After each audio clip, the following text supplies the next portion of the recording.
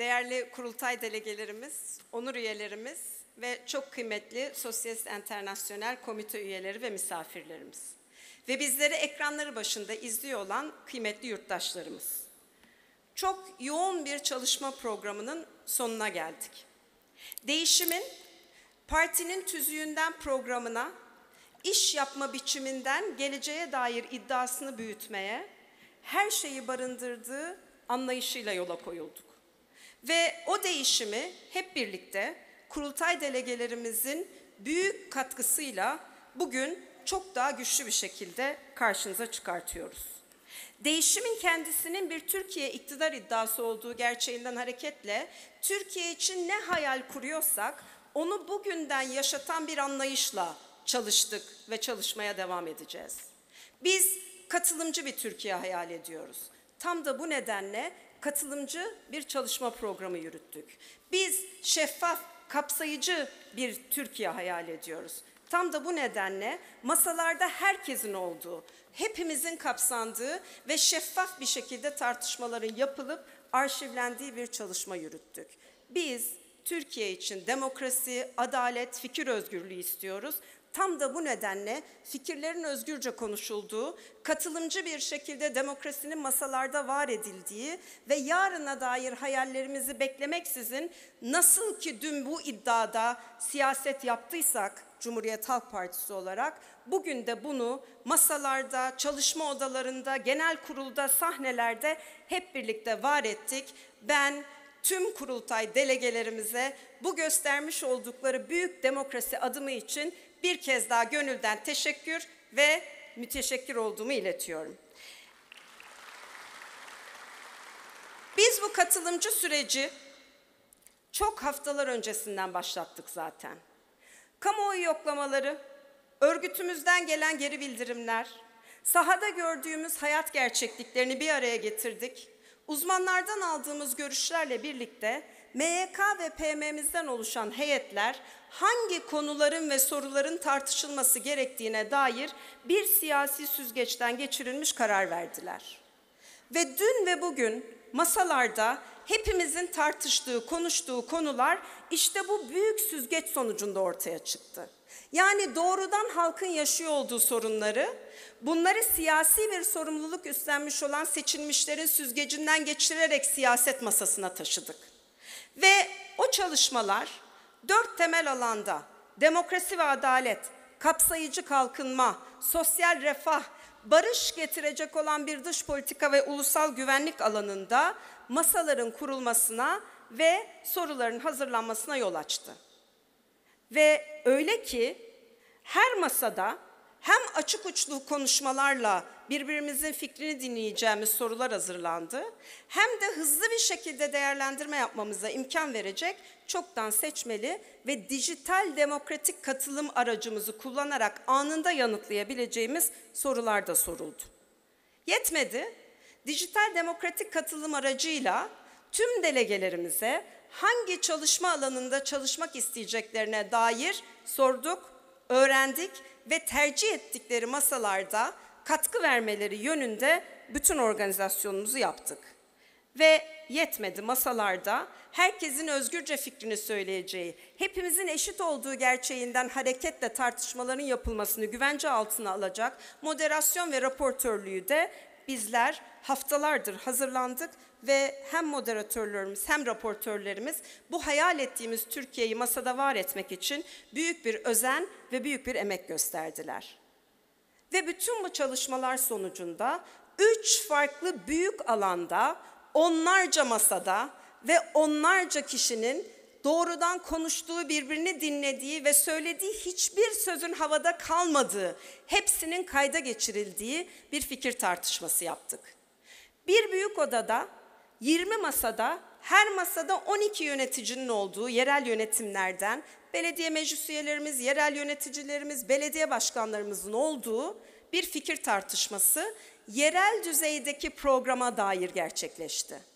Bir büyük odada tüm delegelerimizin ve onur kurulu üyelerimizin birlikte olduğu 90 masada her masada en az 12 en fazla 15 kişinin olduğu yani bini aşan delegemizin birlikte bu dört ana başlığı Sayın Genel Başkanımızın da masalara katılımıyla birlikte tartıştığı, eşit bir ortamda fikir dile getirdiği ve yine hiçbir sözün terk edilmediği bir kayda almayla binin üzerinde delegemizin ve kurultay katılımcımızın görüşlerini dün topladık, derledik, birbirimizi duyduk. Bir kişinin bin kişiye konuştuğu değil, bin kişinin bin kişiye konuştuğu bir çalışmayı el birliğiyle var ettik.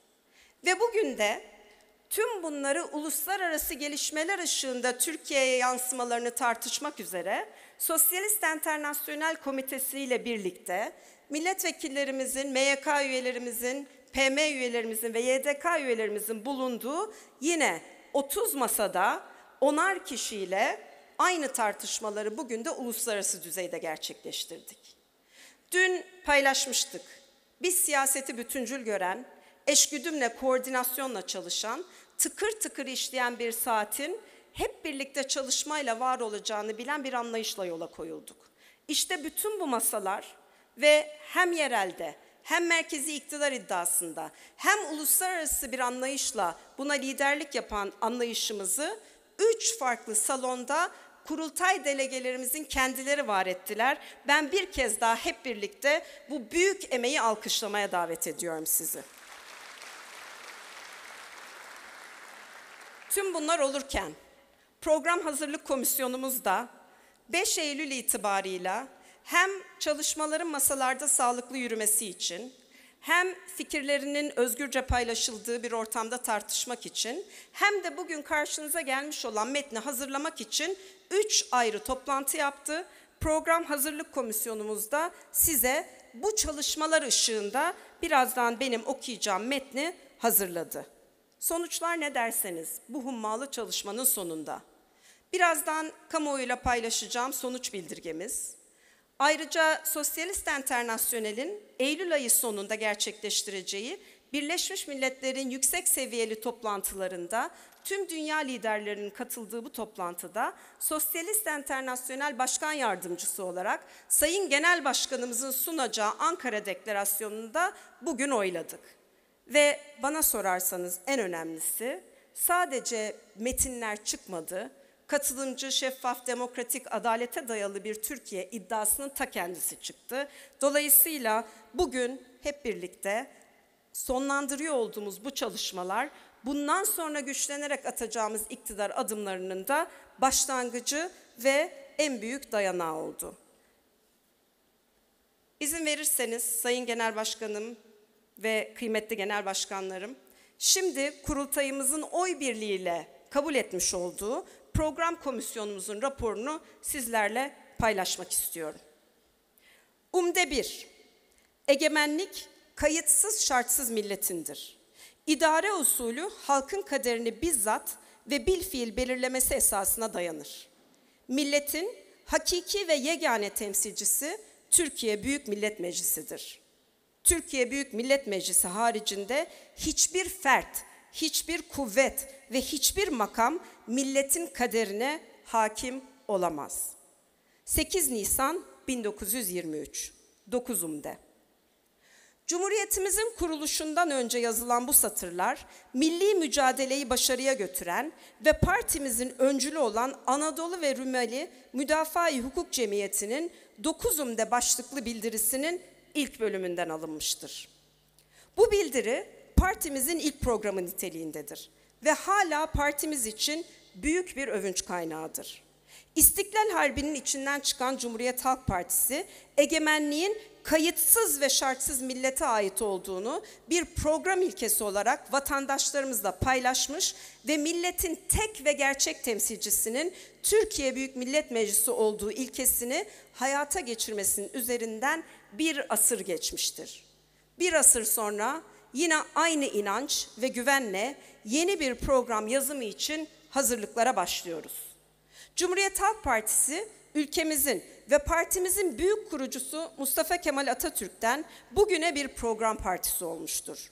milli mücadelenin ve ardından devrimler döneminin en zorlu koşullarında bile halkçılık programı, 9'umde, Halk Fırkası Kuruluş Nizamnamesi ve 1931 programı gibi metinler hazırlamış ve bu metinlerdeki siyasal amaçlar uygulamaya konulmuştur. İlerleyen 10 yıllarda ilk hedefler beyannamesi, düzen değişikliği programı, Akgünlere ve ikinci yüzyıla çağrı beyannamesi gibi metinler de CHP'nin bir program partisi olduğunun açık delilleridir. Özetle CHP'liler için siyaset, kişisel kariyer mücadelesi, zenginleşme aracı ya da şahsi güç arayışı değil, bir siyasal programı sahiplenerek ve uygulayarak ülkeyi aydınlık yarınlara taşıma mücadelesidir. Siyasi hayatımızda birçok parti iktidar imkanlarıyla ayakta kalmış, iktidar olmanın sağladığı imtiyazlarla kendisine bir taban oluşturmaya çalışmıştır. Bir program partisi olan Cumhuriyet Halk Partisi ise her dönemde Türkiye'nin ihtiyaç duyduğu ilke ve fikirleri önce tartışıp tespit ederek ardından da savunarak vatandaşlarımızı bu ilkeler ve fikirlerin uygulamaya konulması için seferber etmiştir. Bu nedenle Cumhuriyet Halk Partisi ve Cumhuriyet Halk Partililer için parti programı en önemli siyasal metindir. Partimizin büyük önder Mustafa Kemal Atatürk'ten bu yana tavizsiz bir şekilde savunduğu temel ve ilke ve değerlerini koruyarak yeni dönemin ihtiyaçları doğrultusunda programını yenilemesi ikinci yüzyıl değişim kurultayımız ile başlayacak yeni dönemin en önemli siyasal görevleri arasındadır. Cumhuriyet Halk Partisi Türkiye'nin en köklü, en örgütlü ve en eski partisidir. Siyasi hayatımızda birçok parti kurulup ilerleyen dönemde ortadan kaybolurken Cumhuriyet Halk Partisi'nin bu kadar uzun ömürlü, etkili ve güçlü olmasının iki temel sebebi vardır. İlk olarak Cumhuriyet Halk Partisi'nin köklerinden getirdiği ve altı okla cisimleşen akılcılık, bilim ve eğitime önem verme, kadın erkek eşitliği, laiklik, demokrasi, ulusal çıkarların korunması ve barış gibi Cumhuriyet'in kurucu değerleri dönemler değişse de Türkiye ve partimiz için önemini korumaktadır. İkinci olarak ise Cumhuriyet Halk Partisi bu değerleri korumanın yanında çağdaş gelişmeler ışığında kendini yenilemeyi başarmış bir partidir. Yani Cumhuriyet Halk Partisi hem köklerini korumayı hem de değişmeyi bir arada başarabildiği için Türkiye'nin en eski, en güçlü ve en örgütlü partisidir. Bugün de partimiz büyük bir değişim içerisindedir ve bu değişim sürecinin bir önemli özelliği ve bileşeni de parti programımızın günün koşullarına uyumlu haline getirmektir. Programımızı neden değiştiriyoruz? Cumhuriyet Halk Partisi'nin 2008 yılında toplanan 14. olağanüstü kurultayında Çağdaş Türkiye için değişim başlıklı bugün de yürürlükte bulunan programımız kabul edilmişti. Bu programın kabulünden günümüze kadar geçen sürede dünyada ve ülkemizde çok önemli değişiklikler meydana geldi. Dünya Covid-19 pandemisiyle birlikte çoklu krizler dönemine girdi.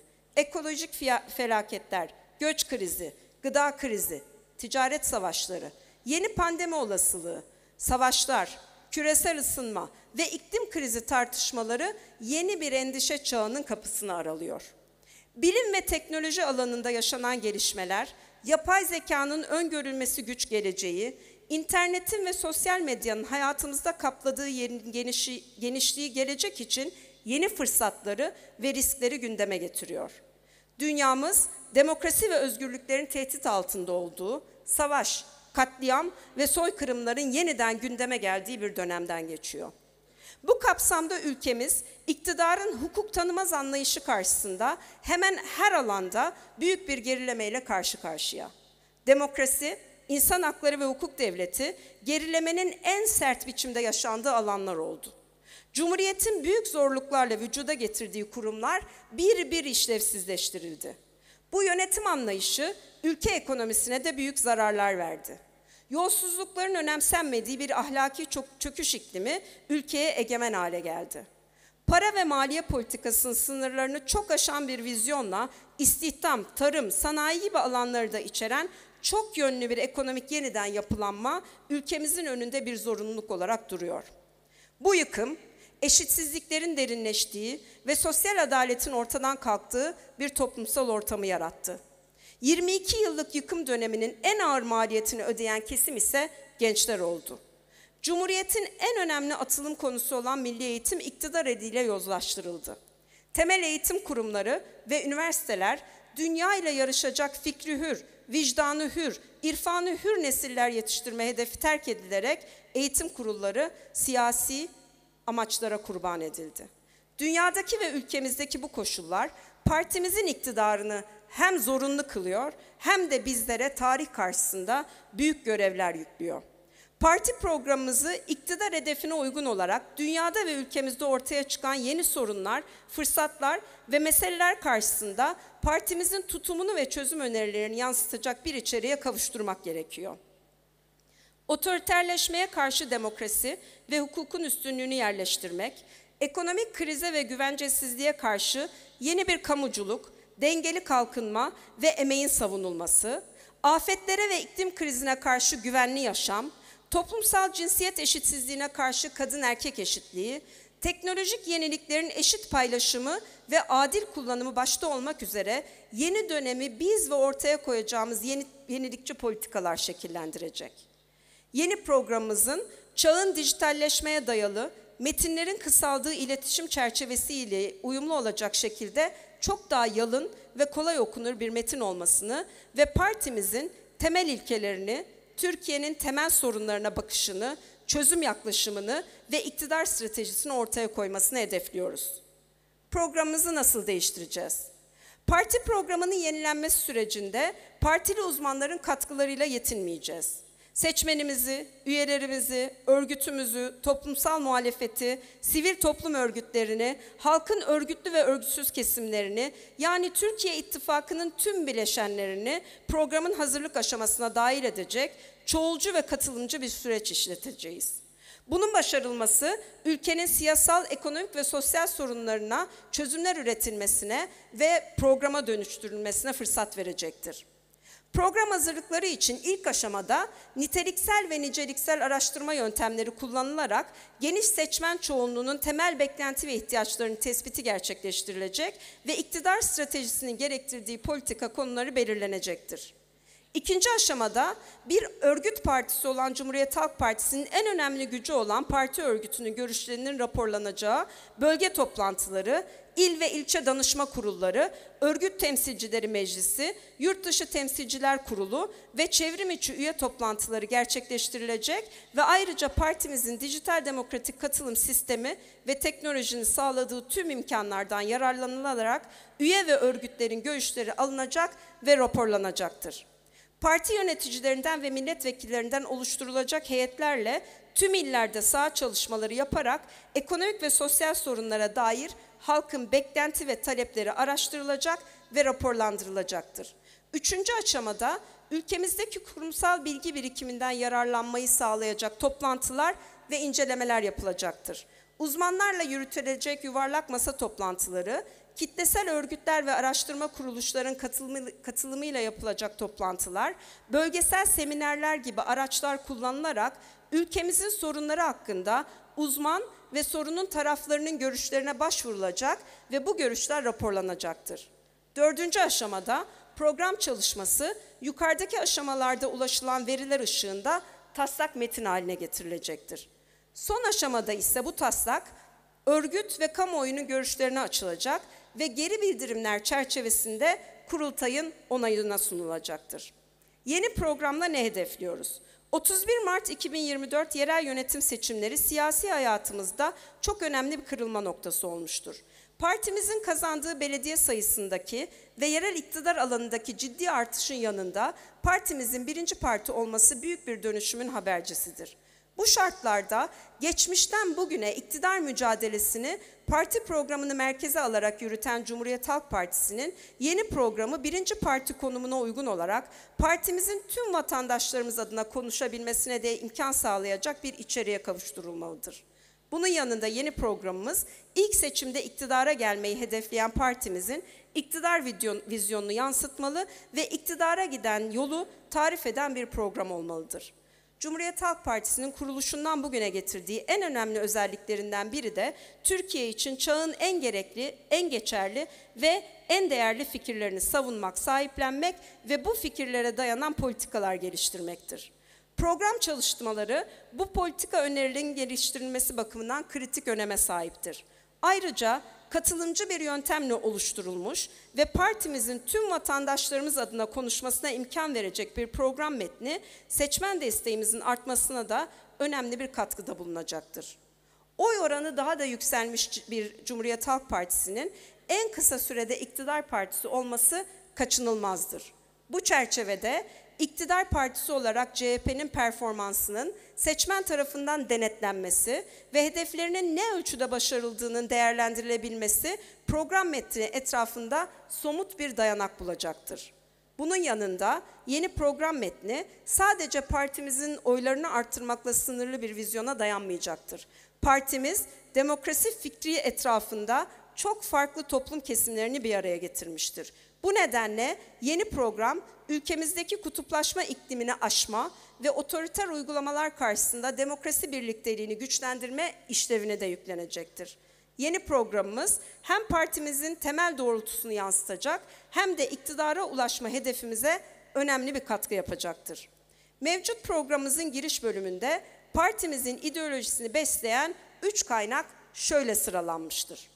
Atatürk'ün modernleşme devrimi ve altı ok ilkeleri, sosyal demokrasinin evrensel kuralları ve Anadolu ve Trakya'nın tarihsel ve felsefi birikimi. Bu üç kaynak bugün de ideolojimizin ve partimizin yürüttüğü siyasetin temel dayanaklarıdır. Bu nedenle programın temel ilke ve değerlerinin ele alındığı bölümlerde bir değişikliğe gidilmeyecektir. Ancak ekonomi, sosyal adalet, demokrasi, kamu yönetimi, dış politika ve güvenlik gibi alanlarda yukarıdaki bölümlerde ele alınan gelişmeler ışığında yeni bir değerlendirme yapılacak ve kurultayımızın onayına sunulacaktır. Cumhuriyet Halk Partilileri olarak siyasi hayatımızın kutuplaşmayı güçlendiren kısır tartışmalardan çıkmasını, çoğulcu ve katılımcı bir niteliğe kavuşmasını istiyoruz. Yeni programımızla siyasi rekabete yeni bir fikri derinlik kazandırmayı hedefliyoruz. Bizim mücadelemiz siyaseti birbirini dinlemeyenler diyaloğu olmaktan çıkarma ve bir vizyon yarışı haline getirebilme mücadelesidir. Bu mücadelenin bir sonucu olarak ülkemizde siyasal rekabet karşılıklı hakaretler, düşmanlık ve kutuplaşma ortamından çıkarılacaktır. Devlet gücü kullanarak yandaşlar yaratma ve yandaşlara imtiyaz dağıtma anlayışının yerine programlar üzerinden toplumla ilişki kurulan yeni bir siyaset anlayışına geçilmesinin mücadelesini yürütüyoruz. Bunları gerçekleştirmek için partimizin köklerinden ve milyonlarca seçmenin gönlündeki Türkiye İttifakı anlayışından aldığımız güçle yeni programımızı hazırlayacağız. Bu programda ilke ve değerlerimizin çerçevesini çizdiği politika konuları hakkında hangi politika enstrümanları kullanacağımızı, partimizin nasıl bir Türkiye vizyonu olduğunu, dünyada ve Türkiye'de yaşanan değişimleri nasıl değerlendirdiğimizi ve onlara nasıl bir yön vereceğimizi, uygulayacağımız politikaların olası yan etkileri ve istenmeyen sonuçları karşısında hangi tedbirlere başvuracağımızı ortaya koyacağız. Bunun yanında yeni programımız partimizin rekabet stratejisi bakımından da büyük önem taşımaktadır. Çünkü yeni program metni hem amaçlar ve değerler bakımından hem de politika konuları ve Türkiye'nin meselelerine yaklaşım bakımından Cumhuriyet Halk Partisi'nin diğer partilerden farkının daha açıklıkla görünmesini sağlayacaktır. Siyasi partilerde değişim gayretlerinin başarısı için zamanlama büyük önem taşımaktadır partilerin seçim mağlubiyetlerinin yarattığı krizlerle mücadele ettiği, iç çekişmelere sürüklendiği dönemlerde bu değişimler için uygun bir ortam yaratmak çok zordur. Zamana yayılan, kolektif düşünme ve çalışma imkanlarının kullanıldığı ve dayanışma içinde yürütülen değişim hamleleri şüphesiz ki başarılı olmaya daha yakındır. Aceleci tutumlarla ve göstermelik değişimlerle kurumların bir yere varması mümkün değildir. Bu nedenle içinde bulunduğumuz konjonktürde yani partimizin büyük bir seçim zaferinin hemen ertesinde ve kendini içten ya da dıştan büyük bir baskıyla meşgul hissetmediği ve seçimsiz bir ortamda yarını kuracak değişimlere imza atmak çok daha kolay olacaktır. Cumhuriyet Halk Partisi uzun tarihi boyunca çok zorlu dönemeçlerden geçmiştir. Yeri gelmiş partimizin mallarına el konulmuş. Yeri gelmiş ilçe başkanlarımız, il başkanlarımız sokak ortasında alçakça suikastlere uğramış. Yeri gelmiş genel başkanlarımız türlü saldırıların hedefi olmuş. Yeri gelmiş darbeciler partimizin kapısına kilit vurmuştur. Cumhuriyet Halk Partisi bütün bu zorluklardan çıkar, çıkaran ve ilk günkü heyecanla mücadeleye koşan üyelerinin azim ve kararlılığı olmuştur. CHP üyelerinin ve örgütünün partisidir. CHP'yi var eden CHP'lilerdir. Bu nedenle programımızı örgütlerimiz ve üyelerimizle birlikte yazacağız. Bunu yaparken örgütümüzle birlikte bize oy versin ya da vermesin bütün toplum kesimlerini dinleyeceğiz. Farklı mesleki ve bilimsel uzmanlıklardan yararlanacağız. Ayrıca katılımcı bir şekilde hazırlanan ve herkesin katkıda bulunduğu bir program parti içi kısır çekişmelerinde önüne geçecek ve üyelerimizin partiye bağlılığını güçlendirecektir. Partililer kariyer hesabıyla ya da kişisel çıkar beklentisiyle değil, partimizin başarısı ve programının uygulanması için mücadele yürüteceklerdir. Halkçılık programına çağrı. Mustafa Kemal Atatürk tarafından 13 Eylül 1920'de Türkiye Büyük Millet Meclisi'ne sunulan halkçılık programının verdiği ilhamla yeni programımıza halkçılık programı adını vereceğiz. Bu programda halkın sorunlarına yine halkın talepleri çerçevesinde çözüm önerileri sunacağız. Programımız halk için halkla birlikte hazırlanacak ve Cumhuriyet'in ikinci yüzyılının gelecek vizyonunu oluşturacaktır. Örgütümüze ve tüm vatandaşlarımıza çağrımız halkçılık programına katkı vermeleri ve büyük değişimin parçası olmalarıdır. İkinci yüzyılda Atatürk'ün vasiyetini yerine getirelim. Türkiye'yi hep birlikte muasır medeniyet seviyesinin üstüne taşıyalım. Hem programımızı hem geleceği birlikte inşa edelim.